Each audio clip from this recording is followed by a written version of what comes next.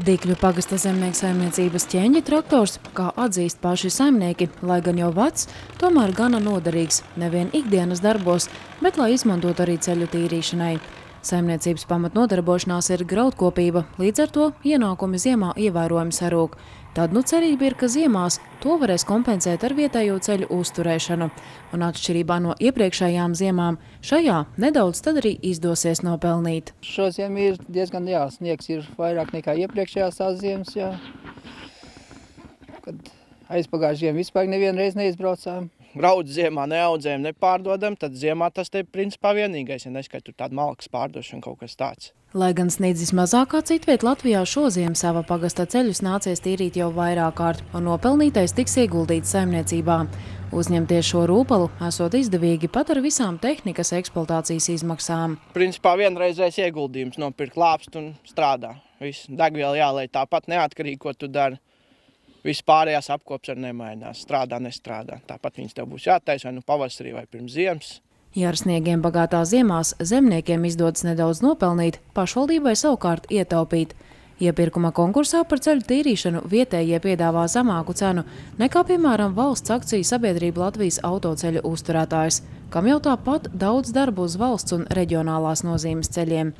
Tā kocēnu novadā uzņēmums šajā sezonā tīra tikai vienu ceļa posmu – Pārējos – lauksaimnieki un citi novadu uzņēmēji vai pašvaldības komunālā saimniecība.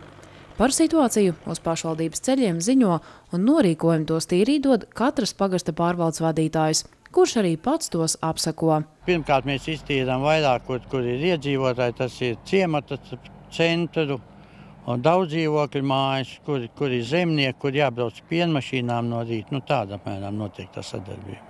Un kā jau tas raksturīgi laukiem, ar pašvaldības ceļu iztīrīšanu nereti darbs nebeidzas. Palīdzība jāsniedz arī viensātās dzīvojošiem, kuriem pašiem nav iespēja to izdarīt.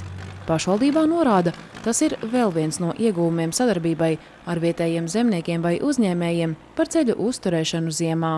Māju īpašnieku, kuru ceļu neparedzās tīrīt, viņi var indāli vienoties un sarunāt ar to tīrītājs, viņš, piemēram, brauc pa Eh, pašvaldības ceļiem, tad eh, viņš arī pie reizes iebrauc un tur arī savā starpā viņi norēķinās, iebrauc un iztīra arī tos ceļus, kas, teiksim, eh, nav iekļaut šajā iepirkumā. Tā kā vietējie zemnieki un uzņēmēji, jau arī paši savā pagasta ceļu lietotāji, pašvaldībā piebilst, pēc sniegšanām un puteņiem tie iztīrīti pat ļoti labi. Un vēl viens ieguvums, ka tam izlietotā nauda paliek tepat novadā. Kopumā šajā gadā Kocāna novada doma ceļu uzturēšanai atvēlējusi aptuveni 160 tūkstošus eiro. Tā summa, kas pēc ziemas paliks pāri, paredzēta ceļu greidrēšanai vasarā, kā arī bedrīšu un tiltu remontam.